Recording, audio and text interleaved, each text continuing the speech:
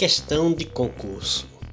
Antes de prosseguirmos com o nosso assunto, dê um joinha no nosso vídeo, compartilhe, inscreva-se no canal e toque o sininho de notificações para receber notificações sempre que postarmos novos vídeos. Ok? Obrigado. Vamos nessa. Complete as lacunas.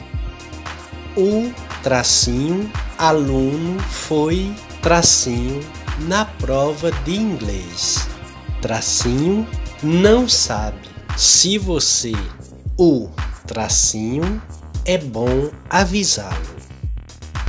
Assinale a alternativa que preenche corretamente as lacunas. Alternativa A: mal com U, mal com L, mas vir. Alternativa B: mal com L, mal com U, mas ver.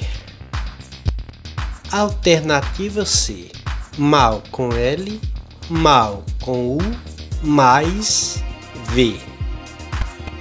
Alternativa D: mal com U, mal com U, mais vir. Então você já sabe? Sabe quais palavras vão preencher as lacunas? Vamos analisar todas as alternativas, eliminando aquelas mais fáceis de se identificar como erradas.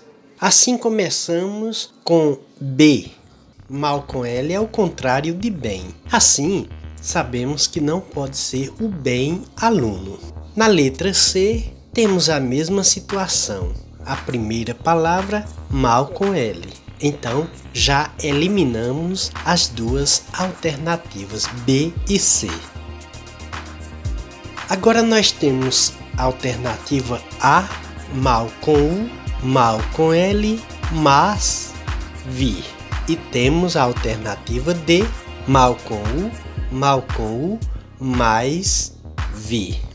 Então, na alternativa D, nós temos mal com o contrário de bom. Poderia ser o bom aluno, o mau aluno, mal com o, está correto. No entanto, temos mal com o novamente, que não dá certo, porque se saiu bom na prova, não dá certo, né? Então, esse mal com o não vai dar certo na outra lacuna. E temos o mais, que é advérbio de intensidade, também não dá certo, mais, lá é mas a conjunção e vir está correto. Então, duas palavras incorretas aqui na alternativa D, que será eliminada, restando então a alternativa A.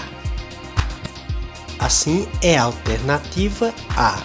Mal com U, mal com L, mas vir. E vejamos como fica a frase. O mau aluno foi mal na prova de inglês, mas não sabe. Se você ouvir, é bom avisá-lo. Portanto, gente, o mal aluno, mal contrário de bom. Foi mal, mal contrário de bem. Foi bem na prova, foi mal na prova de inglês. Mas, conjunção coordenativa. Não sabe. Se você ouvir, é bom avisá-lo. Vir é o subjuntivo do verbo ver. Portanto, são estas as palavras a serem empregadas na frase para preencher as lacunas. Mal com U, contrário de bom. Mal com L, contrário de bem. Mas, conjunção. Vir, subjuntivo do verbo ver. Ok? Bom lembrar que esta é uma questão fácil, porém às vezes nos deixa em dúvida na hora de um concurso.